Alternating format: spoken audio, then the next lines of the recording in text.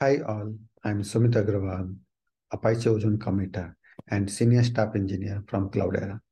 I'll be taking deep dive into resource manageability in ozone storage. Here, I'll be giving brief about the ozone and then we'll be continuing over ozone resource manageability. Further, I'll provide the quota impact over various ozone features such as snapshot, trash.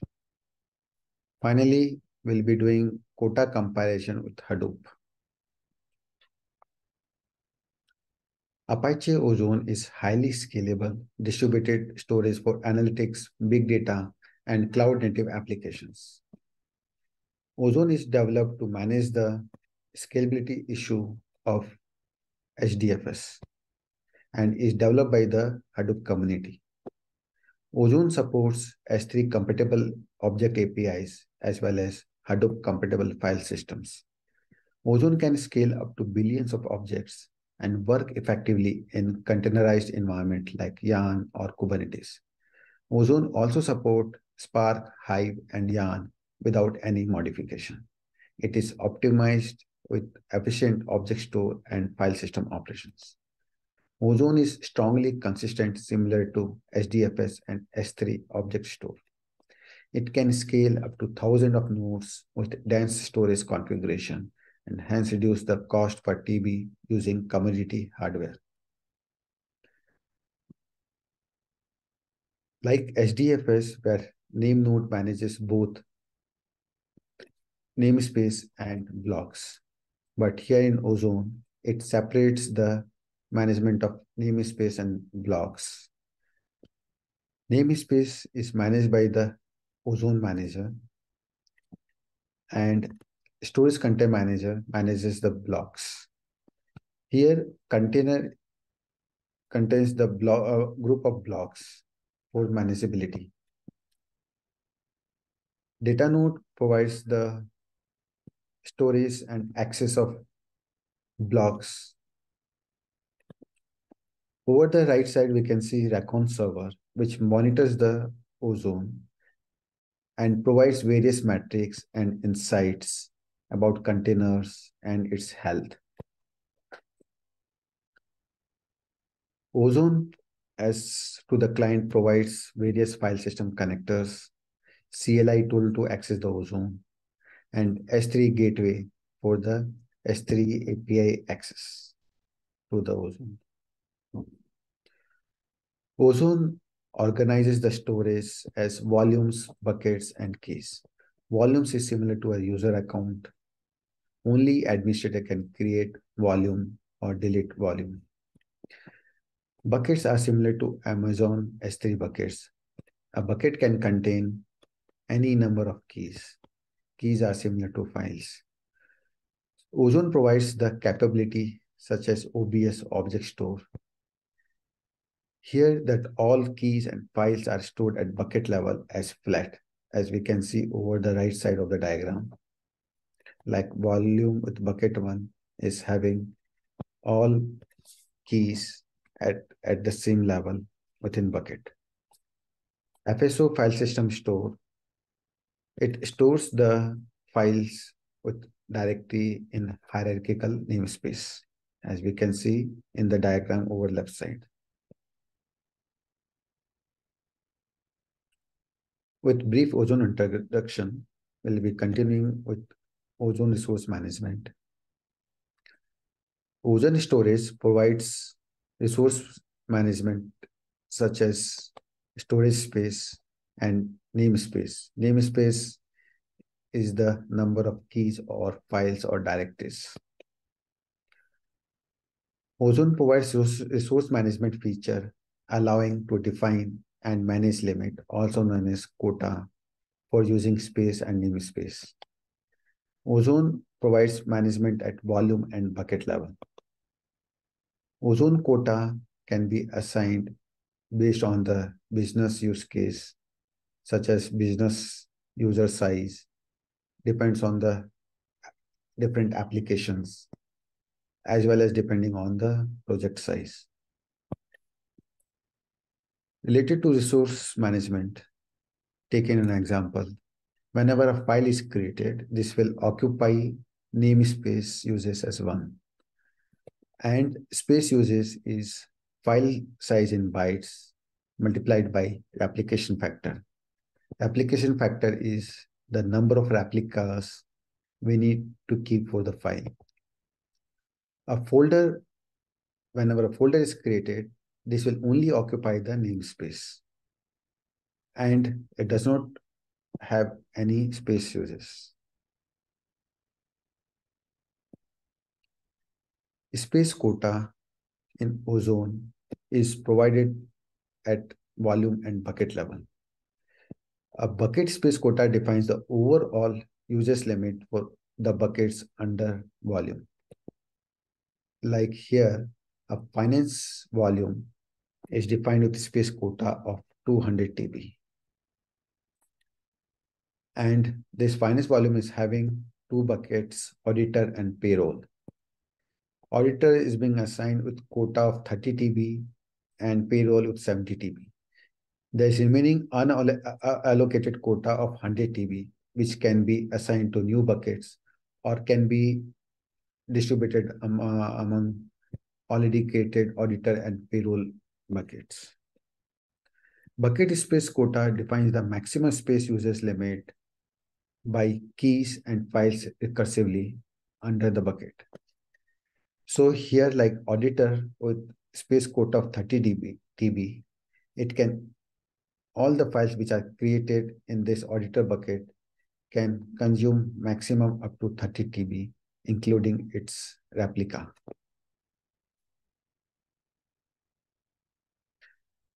Similarly, namespace quota is also defined at volume and bucket level.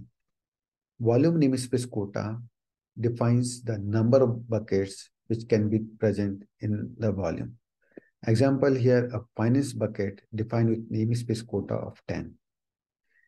It And here, two buckets are created, auditor and payroll. So it is having remaining capacity to create eight more buckets. Bucket namespace quota is the number of files or keys or directories inside the bucket recursively. Like example, auditor bucket is defined with the namespace quota of 1000. So it a user can create up to 1000 files or keys or directory inside the auditor bucket. Ozone provides CLI tool to manage the quota. A quota can be created while creating a volume or bucket using the options such as volume create or bucket create option providing space quota and namespace quota. Resource uses and quota information can be checked using volume info or bucket info. It also provides option to clear the quota or set the quota for volume and bucket using volume set quota, volume clear quota, bucket set quota, bucket clear quota. Here taken an example, we are creating a volume with 200 TB space quota and 10 namespace quota for the volume finance. Next, we are creating a bucket with 30 TB space quota and 1000 namespace quota for the bucket auditor inside the finance. So once we check that volume info about the finance, it is giving the quota in bytes of 200 TB and quota in namespace of 10 as defined. There is one bucket created, so used namespace is one. When checking about the bucket info, it provides used byte and used namespace is zero since we have not created any files or directories inside the bucket. And quota in bytes of 30 TB and quota of namespace is 1000. Link buckets are buckets being linked to the volume. It is like a symbolic link in the Linux operating system. So the volume having linked bucket can be accessed or operated as normal bucket. Taken an example, a volume common having a bucket log to store the logs. There's an application app one, which is defining a linked bucket app log referring to the log bucket. So application can access the actual log bucket using the URI as app1 slash applog. Related to quota, the applog uh, bucket will refer the quota of source bucket that is log. So if any files or keys is being created inside the app log, it must meet the quota defined in the log bucket like space quota of 10 dB or namespace quota of 1000. Some points about the quota is the quota of volume and bucket is not enabled by default and hence the access is unrestricted. That is, a user can create any number of files or directories and can consume the space limited by the data node disk space. Related to space quota, once the volume space quota is enabled, the total bucket space quota cannot exceed the volume space quota as defined. And volume space quota can be set without enabling the volume quota. Like we can enable, we can set the bucket quota independently of volume quota when volume quota is not enabled.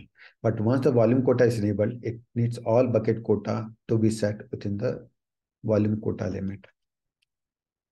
And hence disable bucket quota also needs volume quota to be disabled for the consistency. Some of the design consideration for the quota is quota in ozone is defined at granular level of bucket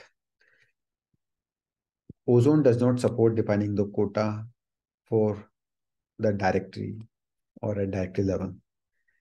In Ozone, whenever a file, directory, or keys are created, a metadata of the resource usage is kept at bucket level and compared with the same. So here, all the bucket metadata in Ozone is cached in memory. So whenever that any bucket key creation or deletion operation is done, it's directly compared with information memory of the bucket. Okay.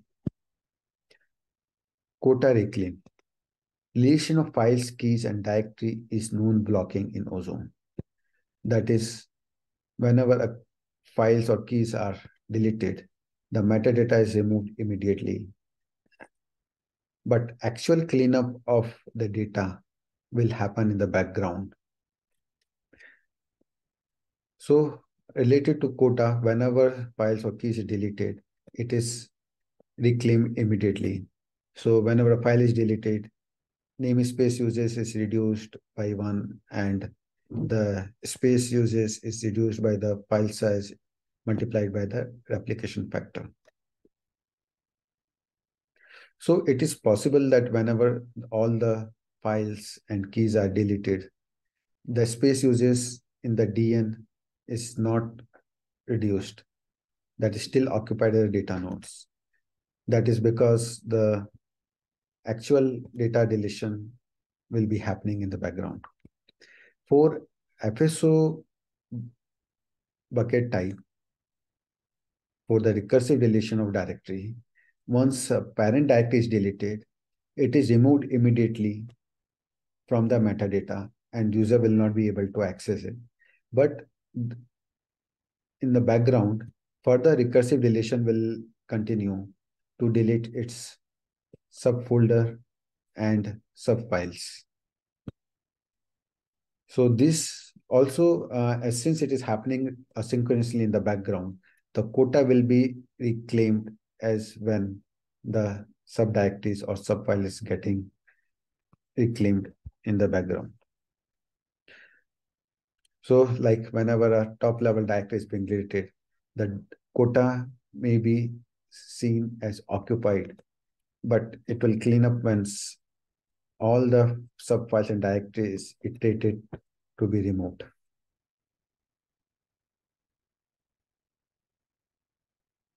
Now I'll be comparing that quota with various ozone features such as snapshots. So a snapshot in ozone is a copy of the ozone manager metadata at that point of time. That is keeping that mapping of keys and files to data blocks. Here related to quota, whenever a snapshot is taken, it does not lead to increase in the namespace or space uses. That is, quota is being shared between the snapshot and the actual ozone metadata. So whenever a object is deleted, ozone checks for the ref, uh, uh, checks whether it is being referred by any snapshot. If it is being it is not being referred, then the quota is released. Otherwise, it will not be released and being occupied. And once the snapshot is deleted and not being referred, that time the quota will be released with the object and object will be deleted at background. So it is possible that even object are deleted from the metadata and user will not be able to access. But quota release does not happen as it is might be referred by the snapshot. Next, we'll be comparing the impact of quota with trash. Trash feature in Ozone is applicable to FSO bucket type. So whenever a file or directory is deleted, it moves that file or directory to the trash folder. The path of the trash folder is the inside the volume bucket with the dot trash, the user who is performing the deletion and the current directory. So by default, it will consume the namespace quota of three for the dot trash user and current directory. Further, whenever a file or directory is deleted at some hierarchy, it can consume an extra space to keep the hierarchy structure in the trash folder, which may be recovered later on. Okay, like in an example, a source is having a file.txt at directory 1 and directory 2.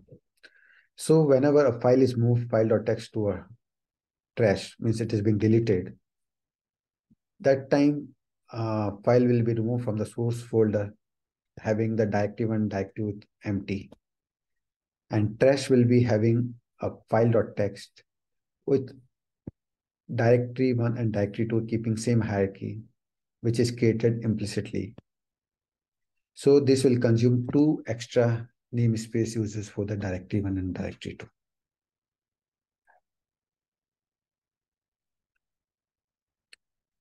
Yeah, so already we have uh, seen that design consideration for the performance of ozone that ozone supports defining the quota only at volume and bucket level, whereas Hadoop supports quota at a directory level, means in a hierarchy of uh, directory structure, user can define quota to any of the directory or multiple directory in the directory hierarchy. So this consideration for ozone limiting to only volume and bucket is taken for the simplicity and performance. Here that whenever quota check happens in the Hadoop, it is multi-level, like it will check to all its parent if any quota is being defined and compare with the minimum quota.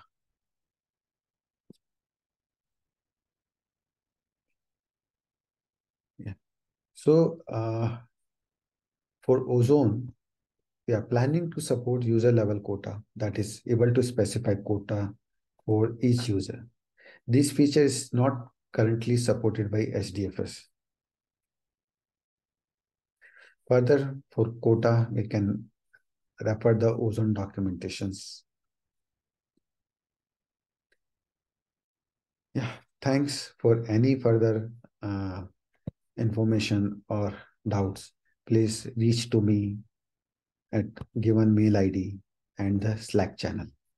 Thank you all.